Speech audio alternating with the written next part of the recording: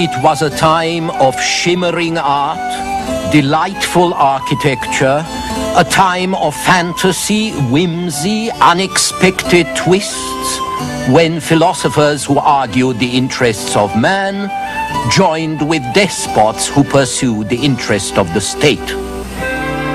The Enlightenment, this time on the Western tradition. Last time we ended with a philosophe Remember 18th century philosophers, many of whom were infatuated with the reforming rulers of Central and Eastern Europe. The philosophers believed that what Europe really needed were philosopher kings, enlightened despots to bring innovations in political, religious, and educational practices, above all to make society more rational.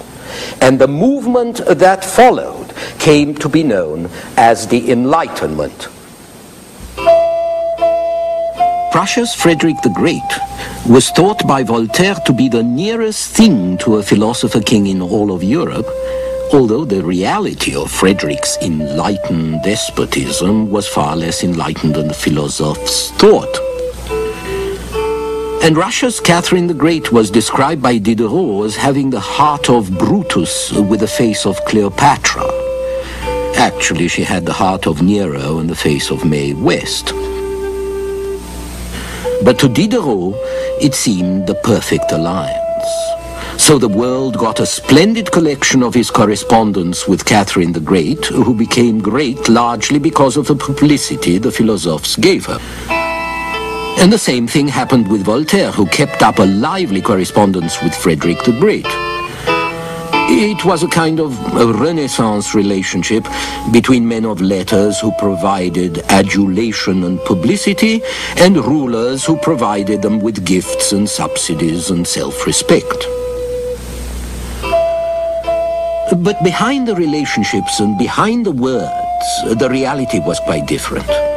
Privilege was not abolished in Prussia or Russia or any of the new states.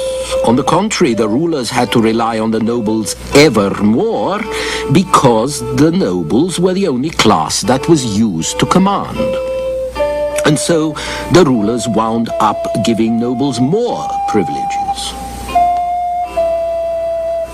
In the Prussian army, for example, only nobles could be officers, a situation that went on with very few exceptions for at least a hundred years.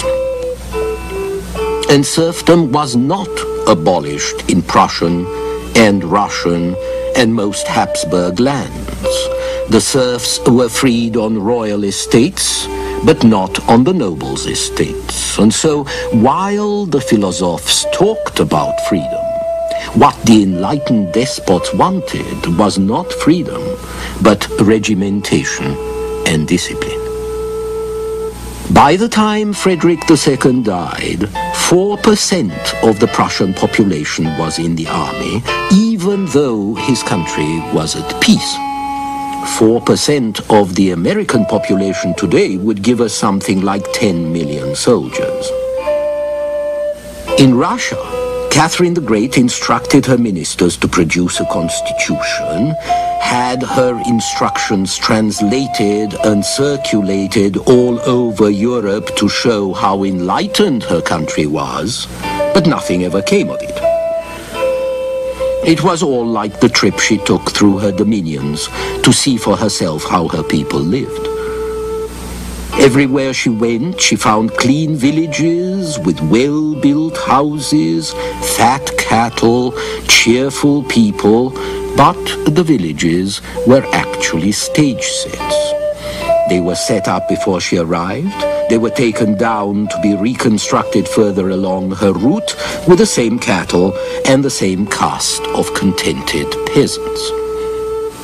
The man who arranged all this was Count Potemkin, Catherine's favorite and chief minister, and the villages with which he fooled the empress, and I suspect she wanted to be fooled, these villages were called Potemkin villages, a term for empty, misleading show, and a technique still used today. Catherine's constitutional reforms were also false, empty fronts. And when Catherine's philosopher friends reproached her with this, she answered, It's easy for you to talk, you write on paper. I write on human flesh. In other words, it's easy to recommend improvements when you sit in your study. It's harder to produce change in real life. But was that really the difference between her and the philosophers, or was it something else? In truth, the alliance between philosophers and enlightened despots was based on a misunderstanding. The philosophers were interested in man his progress, his dignity. Their despotic friends were interested in the state, its interests, its power. Both believed in treating people as individuals, but for very different reasons. When the despots treated people as individuals, it wasn't because they believed in the dignity of man, but because it was to the advantage of the state. It was easier to deal with a dust heap of separate individuals than with corporations and estates and other bodies with a collective personality and collective power. So, where to the philosophers the equality of the individual before the law was a principle, to the rulers, it was a means to eliminate the diversity of interest groups that made governing difficult. But even with this misunderstanding, the alliance lasted because it was also based on interest. The philosophers got respect and money and favors, the despots got useful publicity agents. And the misunderstanding was founded on distance as well. When Voltaire finally went to Berlin, when Diderot traveled to St. Petersburg, the reality was considerably less attractive than the dream. But as long as they stayed in Paris, it was easy to believe in the new societies and their enlightened despots. In the 18th century, Russia and even Prussia were to many people impossibly far away. Of those philosophers who actually went to see for themselves, some saw only Potemkin villages and were fooled. Some were disappointed with what they found. Others were bribed or slandered. But most of the philosophes were just men who wanted to believe in something. They were surrounded by inequity and injustice at home, and the real abuses that they saw around them made them ignore, made them forget, made them dismiss the much worse abuses that took place in these utopias far away, which they wanted to regard as the promised land. So the Enlightenment was very limited. The states of the enlightened despots were modernized. They were dragged out of the Dark Ages into something a little less dark. Life in the dominions of Prussia and Austria did improve in some material respects. And the state machine and the military machine became competitive with the West. But you have to put it in perspective and you have to remember that the enlightened despots were always more despotic than they were enlightened. They were also exceptional. As you can see from the example of Germany, or rather, the Germanies. At this point, the Germans were hardly a nation, they had no sense of national identity. The Holy Roman Empire in which they lived was neither holy nor Roman nor really an empire, just a congeries of states. Any unity the empire ever imposed was purely formal. The Germans were divided among 200 or 300 states and 10 times as many autonomous sovereign entities, some of them no larger than a large ranch in Texas, 80 of them less than 24 miles wide. It was the old feudal structure preserved with dukes and counts and margraves and bishops and abbots and princes, all claiming their absolute right to rule over their little bit of land every ruling family claimed absolute power. They kept their position by playing the King of France off against the Holy Roman Emperor in Vienna.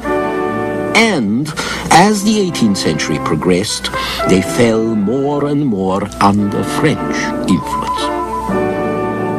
Travel through Germany today and you'll see that every other town has its palace copied from the French and probably a romantic annex like the hamlet Marie Antoinette had built at Versailles with a dairy and a rusty cabin and a fake grotto or two. But while fashion and conspicuous consumption were copied from the West, a little else was. Nor did the conspicuous consumption of the German states mean sophistication or good manners.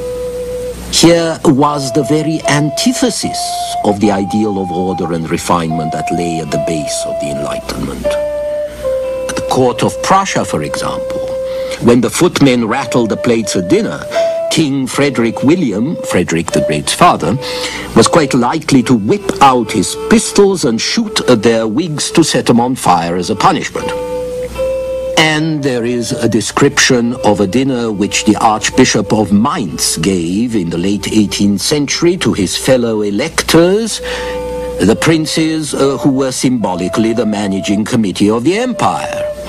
A dinner that lasted from midday until nine in the evening, and while they ate, a military band provided constant music, when they had finished eating, the electors, led by the court marshal, danced on the table until they fell under it. You might say that it wasn't really safe to dine with a German prince, and the princes who were also bishops were the worst. Partly because they like practical jokes like water spouting from the seats or dishes or glasses with holes in them partly because they grew the best wines in Germany and drank them, of course. At every meal, the Prince Bishop of Münster used to empty in one draught a large silver church bell full of wine, and he expected every one of his guests to do the same. Between meals, hunting was the rule. Almost every crowned head of the time loved these killing sprees. It was the only exercise they got, after all, apart from running after women or after boys. And furthermore, since each territory was considered by its ruler as his own private estate and hunting preserve, agriculture was nearly brought to a standstill. It isn't very surprising that quite a number of these princes were on the verge of madness, impotence, alcoholism, or over the verge. They were also great collectors, and their collecting was obsessive. The Duke of Württemberg collected 4,000 different editions of the Bible. The Duke of Brunswick collected vast numbers of harpsichords and spinets, the best of which he reserved for the use of his favorite cats. Another prince decided the time of day according to his own convenience. The clocks of the state had all to be set according to the hour which he chose for his own library. And the Duke of Merseburg spent all his income on furnishing a large room with every kind of bass viol, presided over by an immense double bass which was so big it could only be played from a high stool with the aid of a bow as long as a mast. So you can see that the Enlightenment didn't reach very far, and you can see why the subjects of the more backward rulers envied uh, those uh, people who lived in lands like Prussia, uh, let alone France. And you can understand also why even the very limited reforms of the enlightened despots could come as a relief to their subjects at a time uh, when most rulers were really drunken, incompetent tyrants. And yet these boorish clods lived in palaces, worshipped in churches, applauded in theaters that were epitomes of grace. The style of the 18th century is lighter, daintier, wittier than that of any other age.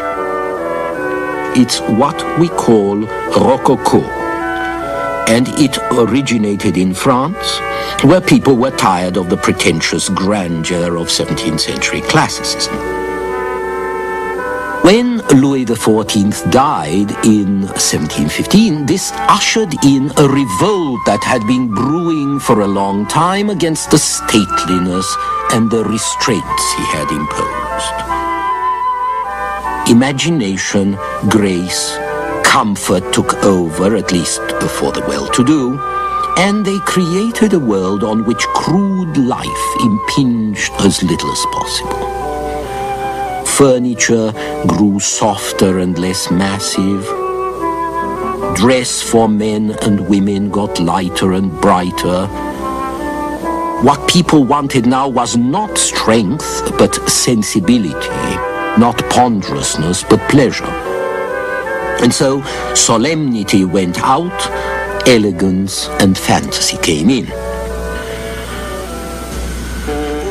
Probably the most interesting French patron of literature and the arts was Madame de Pompadour, who was the mistress of Louis XV. It was Pompadour who protected and helped the writers who put together the monument of 18th century thought that was the Encyclopedia.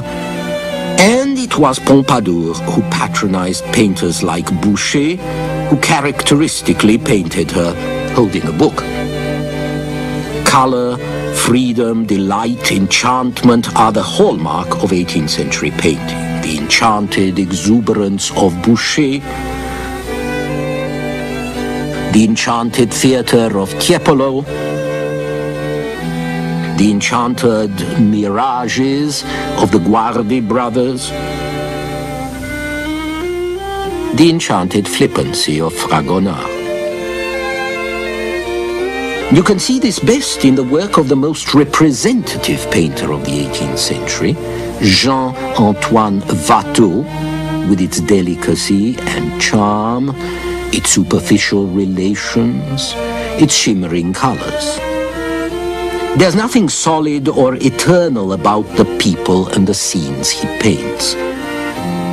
They're here to enjoy themselves in a trip, in a game, a picnic, a dance. Their relations are fragile because pleasure is fragile and transitory.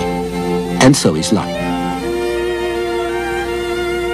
It's interesting that Watteau's best-known painting, The Embarkation, takes a traditional theme, which is a pilgrimage, and transposes it to a frivolous level. The pilgrimage to Jerusalem becomes the pilgrimage to Cythera, the island of love. Here, a group of ladies and gentlemen are embarking for Cythera, and Cythera shimmers across the water like a sort of Jerusalem, just as enchanted, but profane and the whole scene is highly theatrical, which is another characteristic of the Rococo and of 18th century society. Rococo gardens, for example, were artificial recreations of nature with artificial waterfalls, ruins, and a, a, wilderness, as they called it, that made gardens into picturesque places for dreaming and rambling. Gardens have always tried to recreate nature, but those of the 17th century had been stately, orderly creations. No shadow, no mystery, just straight beds, grand alleys, vast vistas. In the 18th century, however, you get irregularities, whimsy, unexpected twists, And this was also reflected in a contemporary fad for exotic things. Turkish fashions, anything outlandish. There was more trade overseas. And the ships that went to the Near East and to China brought back a lot of things now that looked different. And since they looked different, they looked attractive. They looked vaporous. They looked frivolous. They fitted the contemporary protest against the old formality. Like gardens, Rococo fashions were as elaborate, as artificial as possible, from the wigs and bows and baskets to the completely useless little shoes. The more useless, the more anti-functional, the better. And this appreciation of the ephemeral in everything is especially evident in music.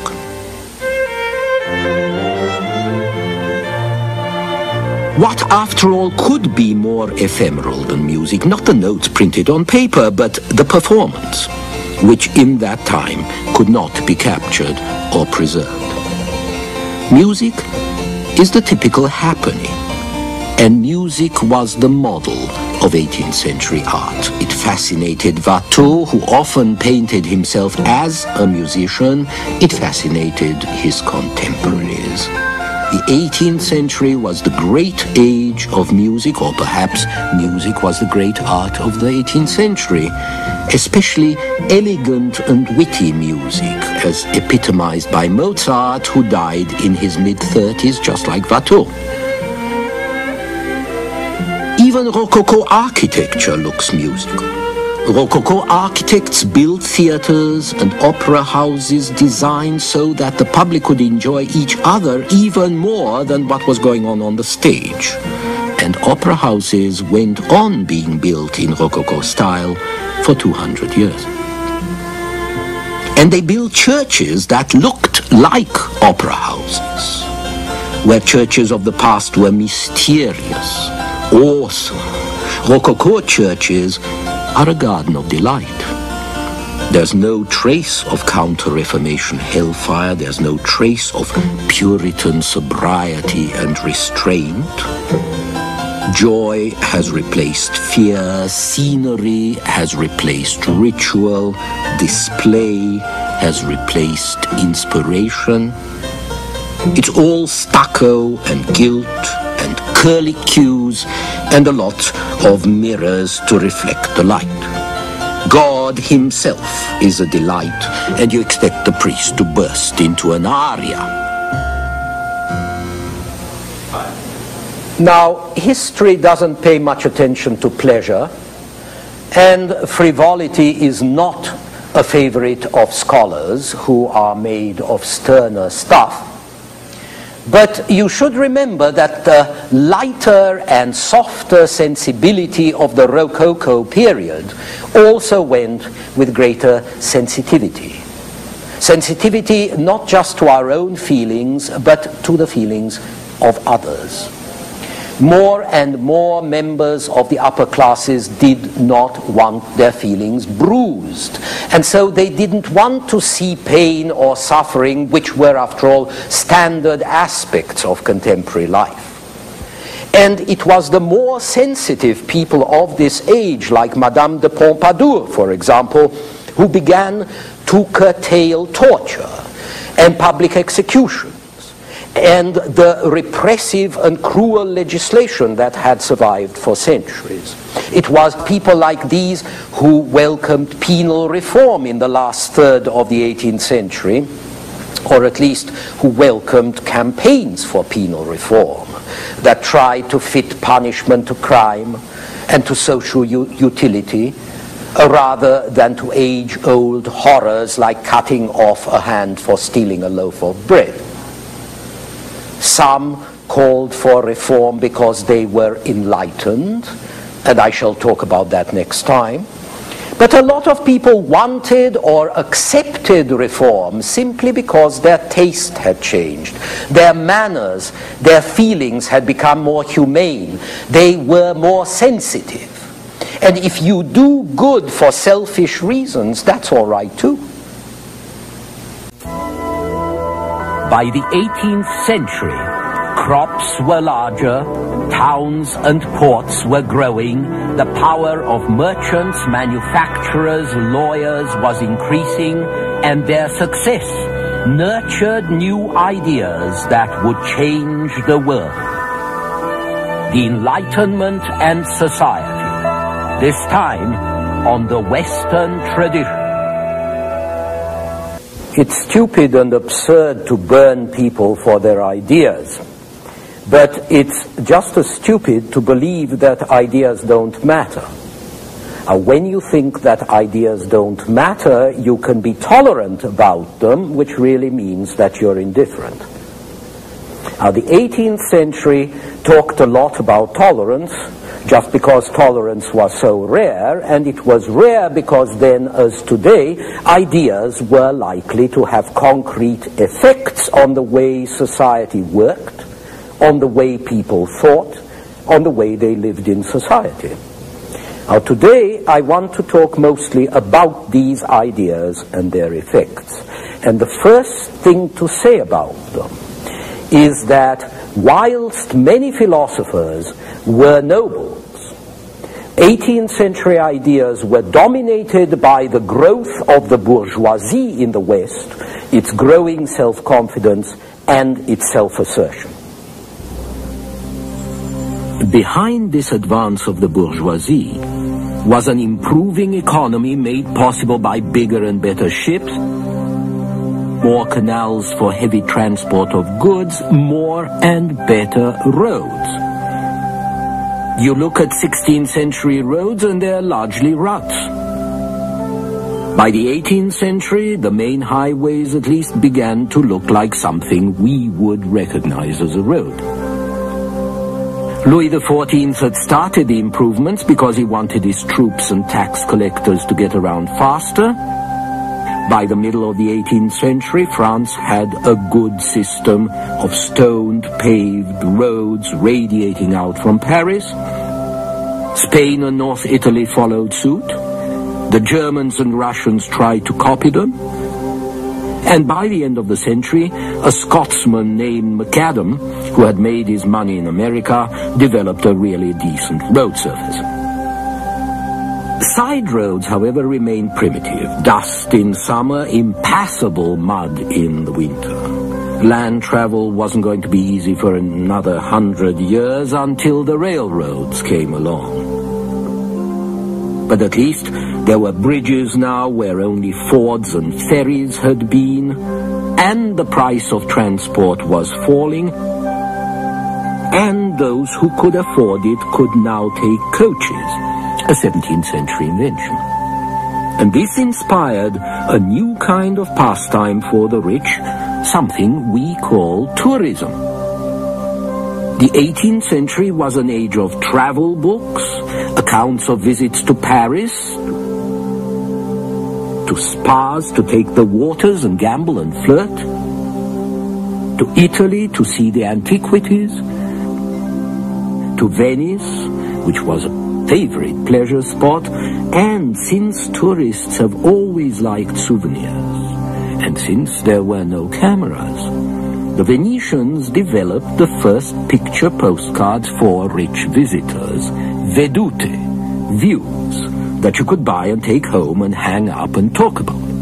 The most famous Venetian painters of the 18th century, Canaletto, Bellotto, the Guardi brothers, all these had large workshops that turned out masses of pictures of San Marco and the Grand Canal and other Venetian scenes.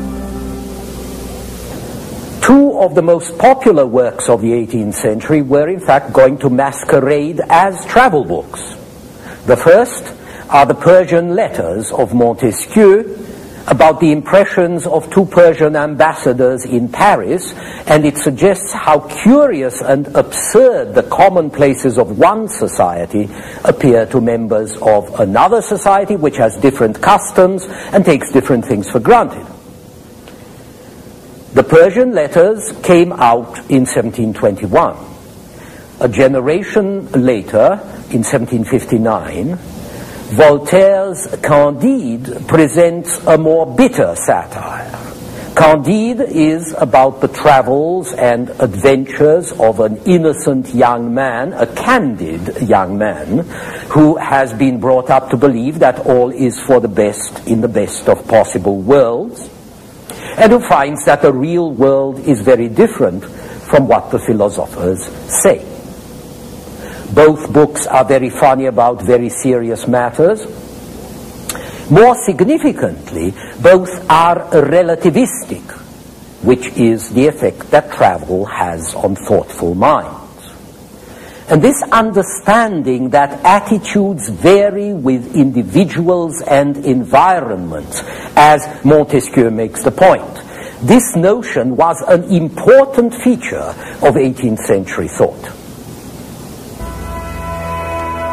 And there were other signs of progress. Farming technology improved. Agriculture became more productive. Fewer crops were destroyed by armies and they were better stored. So there was more food, more people stayed alive, and the population grew. Most people still lived off the land, but a healthy agriculture meant a healthy economy in general, more exchange, more buying power, more manufacturers, growing towns, growing ports, and the growing power of merchants, ship owners, financiers, and the lawyers who drew up their contracts. All this happened first in England because England was spared the worst of the wars that pumped resources out of the continental states. She also had important resources of her own access to cotton, lots of native wool, the water power to turn textile mills, iron and coal to feed the forges and smelt the iron.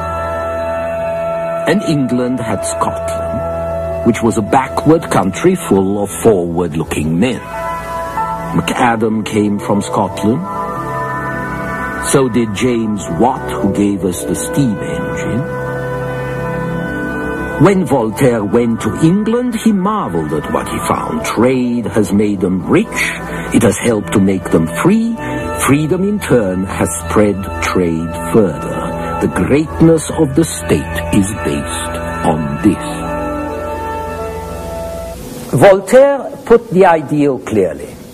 Trade makes wealth. Wealth favors freedom. Freedom favors trade. Trade favors a country's greatness. That's what he wanted to see in France. That's what the bourgeois wanted to see everywhere. And those bourgeois who achieved economic power were now also going to claim political power. By the end of the century, one leader of the French Revolution made this very clear. A new distribution of wealth, he said, calls for a new distribution of power. Now, you have to be careful how you use the word bourgeois because the term covers a multitude of sins or at least a multitude of pursuits. Some bourgeois were businessmen, some were craftsmen, state employees, public servants, lawyers, financiers, manufacturers, and some were men of letters, intellectuals a term that didn't appear until the 19th century, although it was in the 18th century that writing became a profession. So there were different kinds of bourgeois, but they shared common ideas. And this common point of view, which we might call a bourgeois philosophy, didn't present itself as just bourgeois, but as a universal philosophy, something that applied to all mankind. When we talk about human rights today, we are using the language and expressing the principles of the 18th century bourgeoisie who talked about liberty and progress and man, and who eventually wrote documents like this one, the Declaration of the Rights of Man, issued in France in 1789. And this was a fundamental change, which would again be stressed by American and French revolutionaries who appealed not to the special rights or characteristics of Americans or Frenchmen, but to the nature and the rights of man, which are universally valid. And if I keep saying man, you will understand that it is because this is what the men of this time used. This was very different from what was going to happen later in the 19th century when the proletariat, the working class, was defined as an independent entity and workers were invited to adopt a proletarian, a class doctrine that was much narrower. But in the 18th century, the bourgeoisie identified its cause with the cause of all humanity. They were bourgeois but they considered themselves simply as human, and the interests they pursued were not, as they saw it, class interests, but valid for everybody. So that today, when you talk about human rights, you are expressing the principles of the 18th century bourgeoisie. This universalization of specific principles and interests was going to encourage a hypocritical pretense that what was good for the bourgeois was good for everybody. But it was also going to inspire and to justify the demand that what is done to improve the lot of the bourgeois should be done to improve the lot of everybody. And this is another principle that still affects our politics today. Another novel and important aspect of the time was that these enlightened ideas were going to be more swiftly and more widely publicized than ideas had ever been publicized before or ever could have been. This, for instance, is a French caricature of the three social orders with the commoners on top. Not that propaganda the systematic effort to persuade was an 18th century invention. It had always existed. But mass advocacy, at least of a secular kind, only came with the better communications and exchanges of the 18th century, with broadsheets, gazettes, newspapers, and clubs, with more books and pamphlets than ever before, with drawing rooms, cafes, debating societies, and secret societies. The most important of these secret societies were probably the Masonic lodges. They had started in 17th century England, but they were spread all over 18th century Europe by the French, who counted over 30,000 brothers. Most of the great philosophers were Masons, like Voltaire and Diderot. But also aristocrats like the king's cousin, the Duke of Orleans. And a lot of foreigners. Frederick the Great, uh, Mozart, Washington, Franklin. As a matter of fact, if you look at the medallions on the back of our dollar bill, you'll find that one of them is a Masonic symbol. The first principle of Freemasonry was a cult of humanity. This didn't challenge the power of kings, but it did challenge the dogmas of established religion. The Mason believed in God, but not in any particular God, not in the God of any particular church or revelation, and the Mason believed in reason, and in the natural religion only reason could reveal, so he wasn't impressed by religious rituals, he had his own, which we uh, call deism. More immediately important, Masonic societies added to the number of clubs which spread the progressive ideas of Paris through the provinces, which provided a sort of capillary system for the new ideas to seep into the attitudes of the upper and middle classes. And along with ideas, the vocabulary changed radically.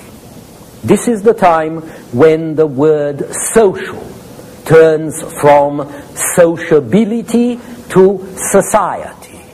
And it acquires its present meaning as in sociology, as in social sciences. Now this is when words like capitalist appear, when nation and national acquire their modern sense. And this is when terms like people or populace shed their pejorative sense as in the common people, the vile populace. And they become, as the Encyclopedia of Diderot and Voltaire puts it, the most numerous and necessary part of the nation.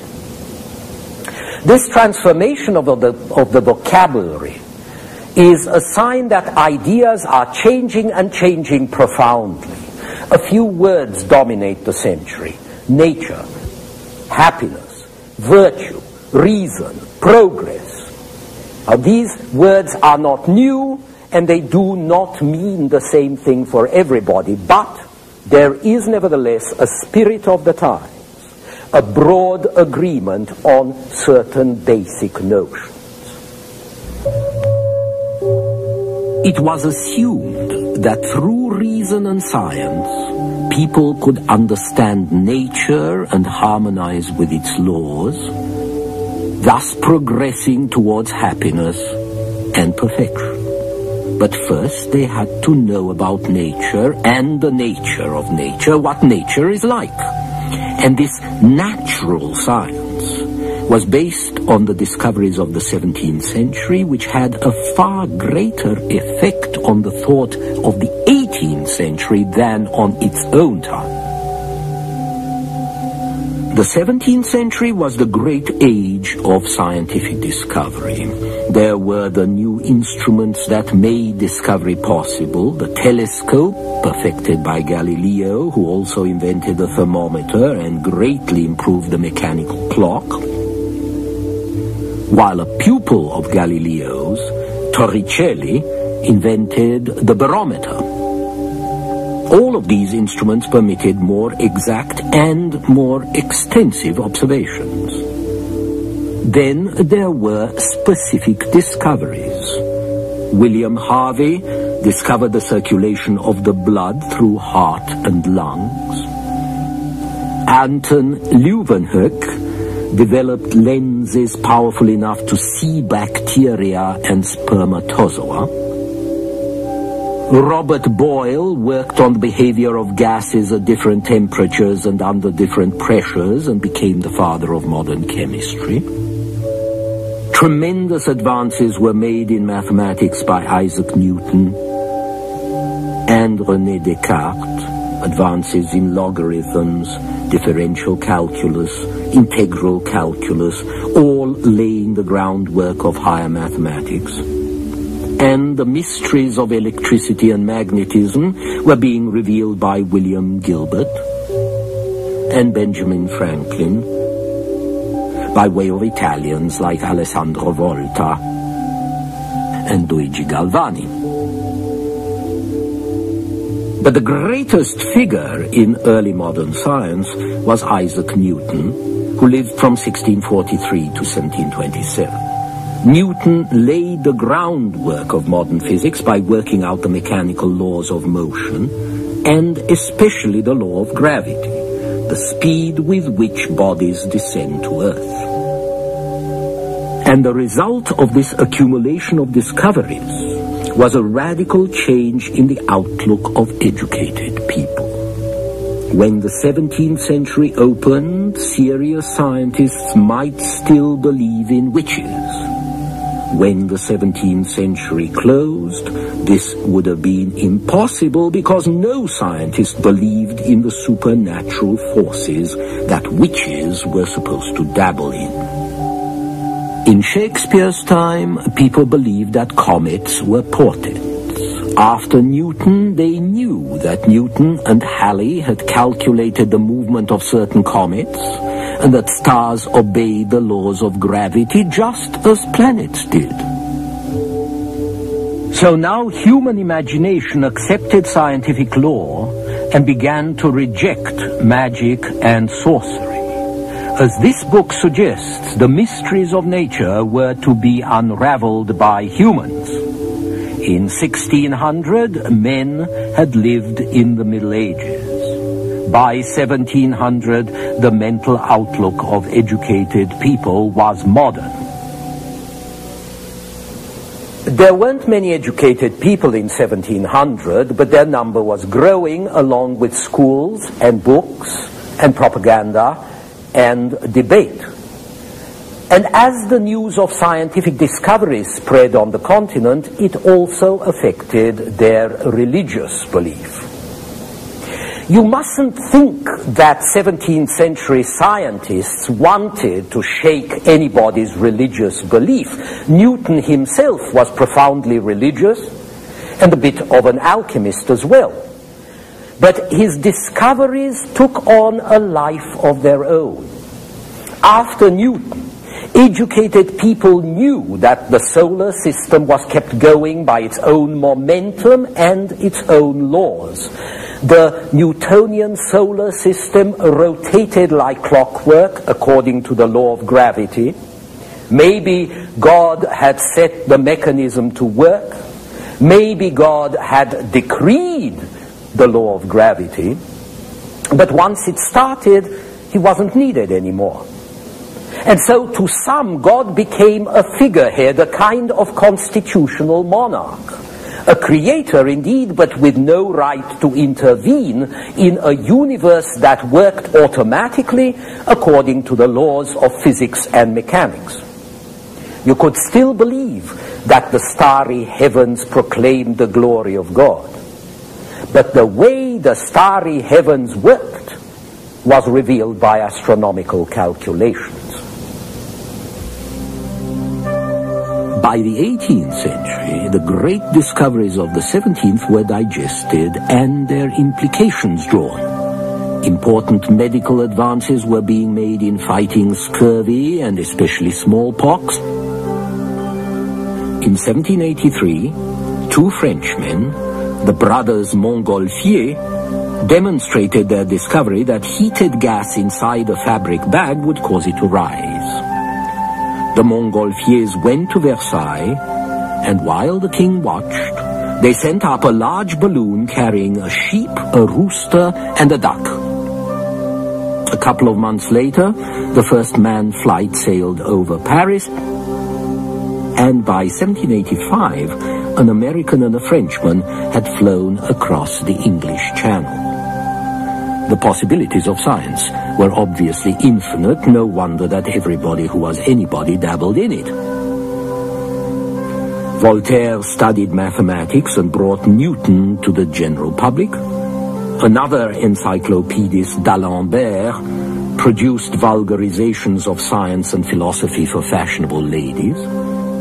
Diderot did chemical and anatomical experiments and biology fascinated everybody. This is a sketch of Galvani's experiments with frog legs and electricity.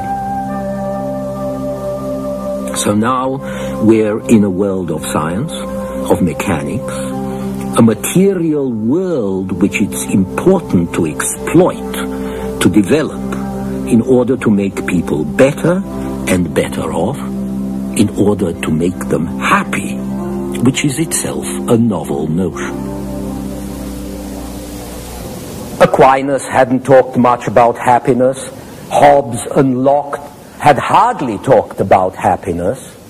But in the 18th century, people hardly ever stopped talking about happiness. This had a great deal to do with the relaxation of religious restraints, both Catholic and Protestant, and now there was talk about happiness in nature, happiness in fresh air.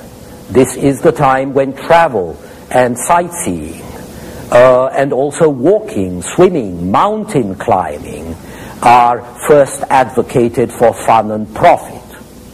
Happiness in a natural life. Noble savages are happy noble ladies and gentlemen try to go back to nature.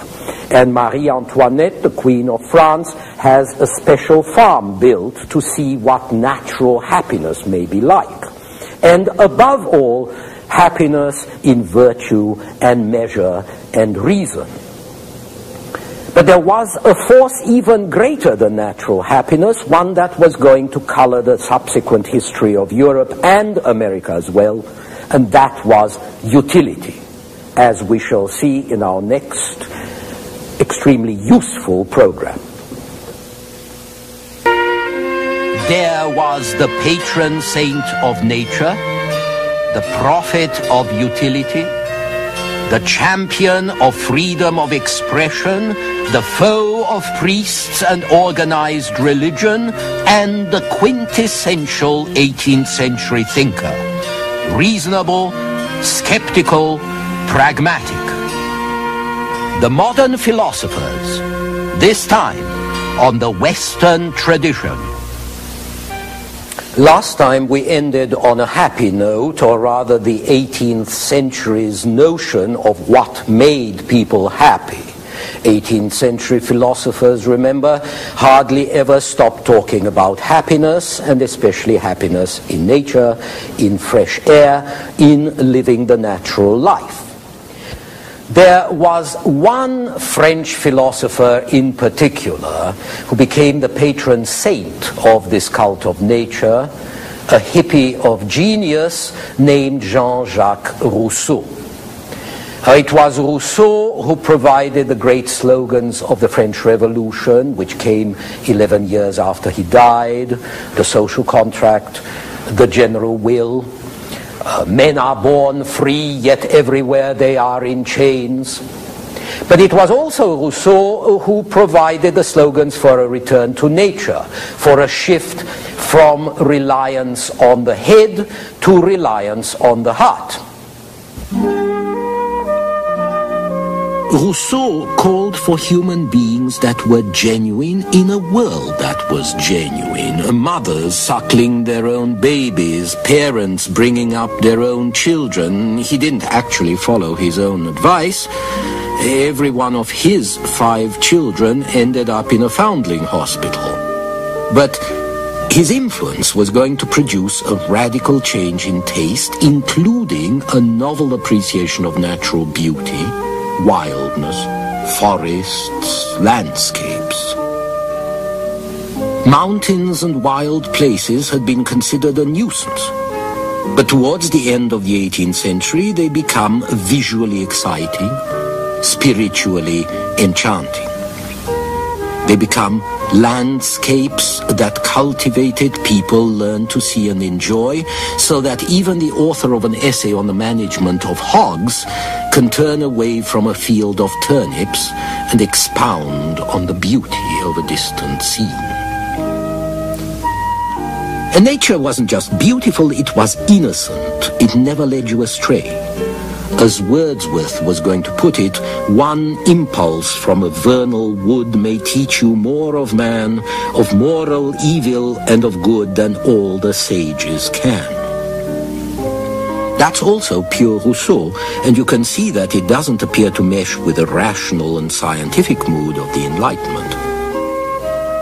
Rousseau found the dominant philosophy too crude, too rationalistic, too materialistic. His idea of happiness was dreamy, sentimental, private, where that of mainstream philosophers was public, or if you prefer social. And so we have two parallel strains of thought, with Rousseau's being a sort of counter-culture view. To the mainstream philosophers, happiness was something you had to earn, to deserve, to conquer, not just absorb. There wasn't only an individual right to happiness, there was a kind of public duty to be generous and make others happy. So private happiness was expected to coincide with public happiness, and in the process it became a subject of politics. Virtue, which was seen as an important component of happiness, was now related to social harmony. In its old definition, which went back to the ancients, virtue meant manly strength. But the 18th century definition preferred a social model. The virtuous man was above all useful to his fellows. Virtue wasn't just private, as it might be, let's say, with a good Christian, it was public.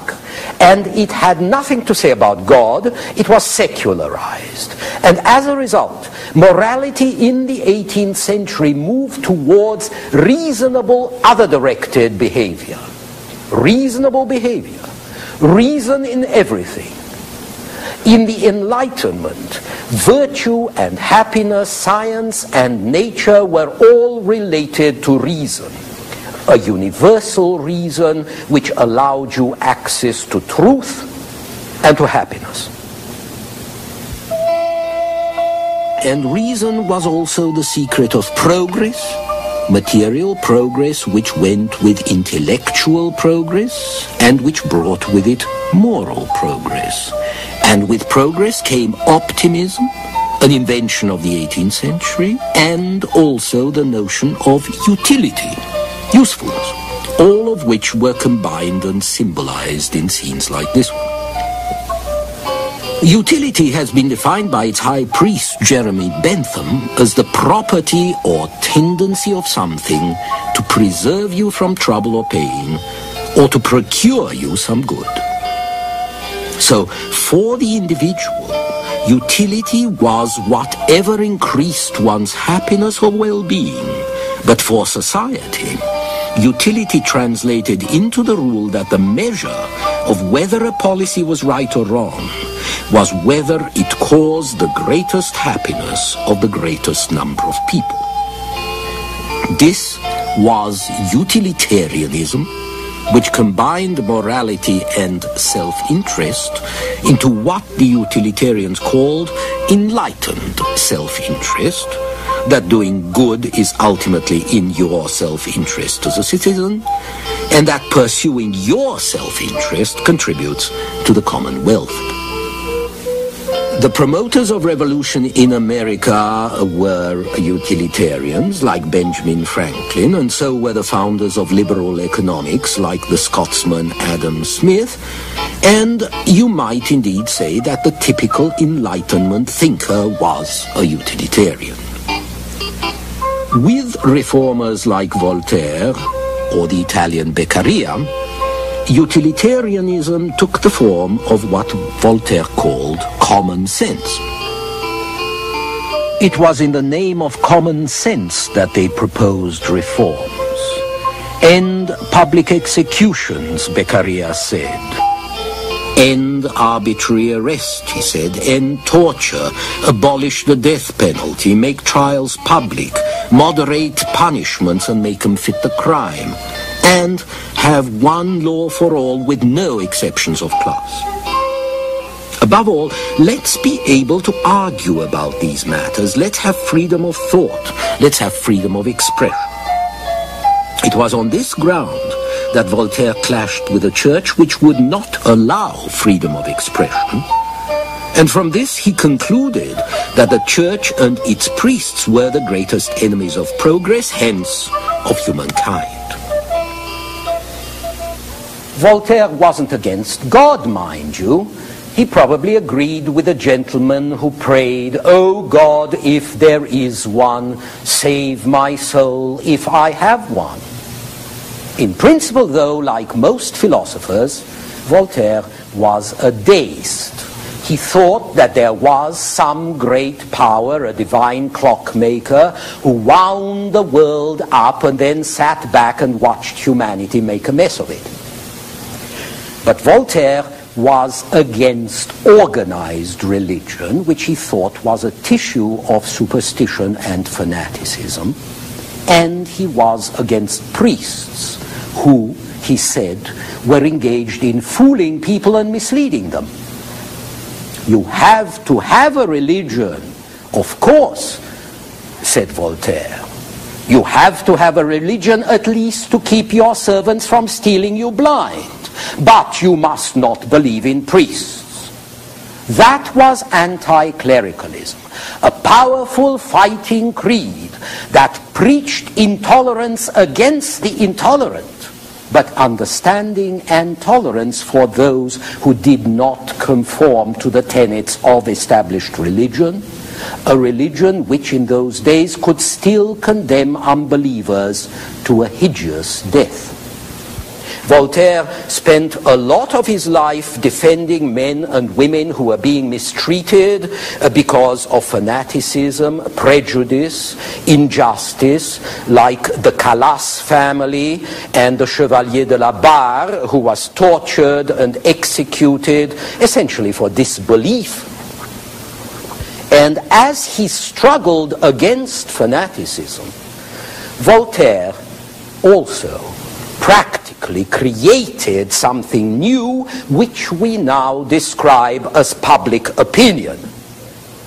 It was in the great political and anti-clerical campaigns of the late 18th century that public opinion became a serious factor in literate societies. And the intellectual, the publicist, the man of letters, was recognized as the dynamic force behind public opinion, immensely effective in spreading the message of enlightenment, which was not only rationalistic, but also utilitarian and materialistic, a belief in technical and economic progress. The greatest monument to this point of view is the encyclopedia which Voltaire and Diderot and their friends published through the 1750s and 60s. 17 volumes, three volumes of plates, all arranged in alphabetical order, which was another innovation because it abandoned traditional categories and hierarchies for a more equalitarian arrangement, which put theology after production, which put princes after locksmiths, because of the letter with which the word began. The encyclopedia is one long hymn to technical progress. The mechanical arts and their inventors get a degree of attention they never got before. Practical men are described as benefactors of humankind. There are endless articles on trades, on techniques like dyeing cloth, or making locks, or making stockings, on everything that's useful. Rank is subordinated to utility, Politics is subordinated to economy. Liberty in this context is essentially economic, with political liberty a kind of icing on the cake of free enterprise. And when Diderot writes the article on political man, the article is all about agriculture, demography, and wealth, because well-being health, work, freedom are all related. The humanism of the encyclopedists grew straight out of their materialism. They believed in evolution, in progress, in the possibility to change people, in the duty to do so, to do something for their happiness, the greatest happiness of the greatest number. To them, the universe was one great machine where everything was connected. The best and the worst aspects of this humanism can be seen in two completely different painters whom Diderot much admired. The first is Chardin, the painter of everyday life, clean, direct, intimate, deceptively simple, a sort of 18th century Vermeer. The second, however, is Greuze, melodramatic, moralistic, sententious, and generally soppy. Look at these girls, so innocent that you wouldn't trust them near a hayloft. Look at the families gathered round the dying father. Greuze, like Rousseau, represented the sentimental side of enlightenment. Remember, though, it was the philosopher's appeal to feelings as much as to reason which launched the campaign for less terrible punishments, for a less deadly penal code, for more human treatment of our fellows. So, even second-rate painting could be useful in a good cause. Utility again. Now, the true home of utility was across the channel in Britain, where there were some important differences where continental philosophers looked to enlightened despots and to their centralized bureaucratic states to impose necessary reforms and produce a more efficient economy, the British felt they had an efficient economy precisely because they didn't have much of a bureaucracy and because they had avoided an authoritarian state. They were protected by the ocean, they were protected by their fleet, and they kept government down to a minimum because they felt that individuals could operate more efficiently when they were left alone and not told what to do. A good expression of this is Bernard Mandeville's Fable of the Bees, which he published in 1723. The fable is about a hive which functions fine until it's converted and regulated so that the bees can live a more virtuous life. And disaster strikes. The bees become sober, austere, charitable. Their productivity falls drastically. Their economy becomes a subsistence economy. No luxuries, no self-indulgence, no more time wasted buzzing around flowers, sniffing around, no more acquisitiveness, no more greed, no more surpluses. So there is no more honey, there is no more wax. It's a catastrophe. And the conclusion, individual vices are good for society. The selfishness of each conditions the prosperity of all. The ultimate version of this view can be found in Adam Smith in his inquiry into the nature and causes of the wealth of nations, published in 1776. In this, Smith argues the fundamental harmony of self-interests. He believes in free trade, competition, production, profit, above all, no regulation. The state is simply there to see that order is kept and natural laws have their free play so that you can have a peaceful contest within a peaceful context for productive activity. Now, in this sense, utilitarianism, which informed all the thought of the 18th century, was really the doctrine of a country, of a period, of a class that felt that it was on the upswing. But since the doctrine uh, took so many different shapes, it's hard to pick the quintessential 18th century utilitarian. If I had to choose, I would pick an Englishman, even though you probably don't think of him as such, a man named Benjamin Franklin. Franklin was born in Boston in 1706, the tenth son of a soap and candle maker who had 17 children in all. He began work at 12, he was trained as a printer, and he began to make money by printing paper currency for Pennsylvania and some other colonies. Like other printers, Franklin also diversified his business by bringing out a gazette and an almanac which was called Poor Richard's Almanac. Almanacs were very popular publications because you didn't really have to read well in order to consult them. You could pick up bits and pieces of information and wisdom in potted form, a bit like the Reader's Digest. And Franklin's Almanac printed a lot of proverbs and jokes, and it soon became very popular. Franklin then became a public figure. He promoted a fire department. He started a lending library.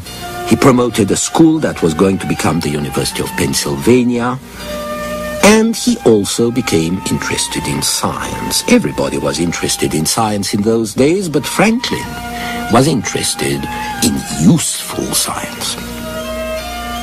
He invented the Franklin stove, which he called the Pennsylvania fireplace, and which he refused to patent as a philanthropic gesture and his stoves, which burnt the wood that was so plentiful in those days, went on warming farmhouses and frontier cabins for over two centuries.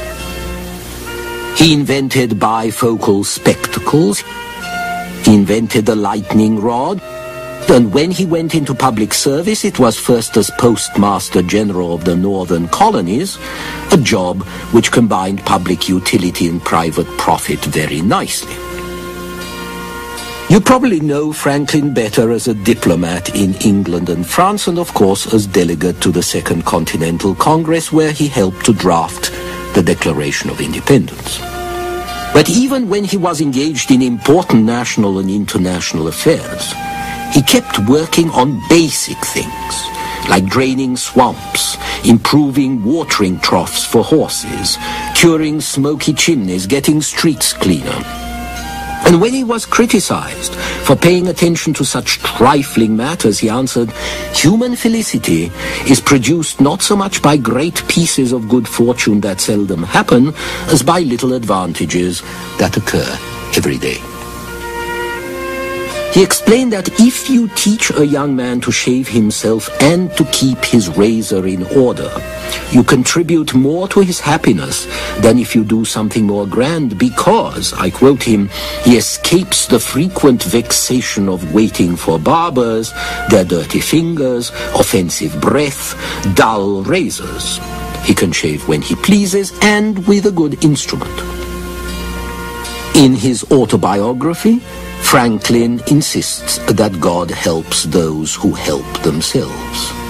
A person's fate is largely determined by his or her acts, he declares, and if you want to win, learn the rules of nature, especially human nature, a subject in which Franklin is just as realistic and pragmatic as in every other.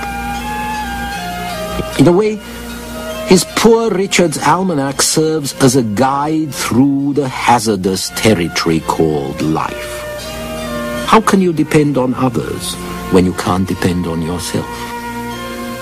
Why blame wolves for eating sheep when men eat a lot more than wolves do?